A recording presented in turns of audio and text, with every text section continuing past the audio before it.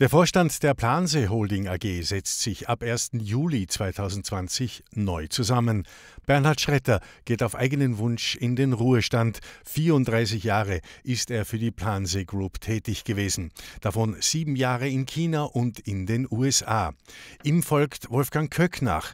Köck arbeitet seit 32 Jahren für den Unternehmensbereich Plansee Hochleistungswerkstoffe, davon viele Jahre als Geschäftsführer und Divisionsvorstand. Gemeinsam mit Karl-Heinz Wex bildet er den neuen Vorstand. Wex selbst ist bereits seit 19 Jahren Mitglied des Vorstands. Ab 1. Juli wird er zum Sprecher des Gremiums.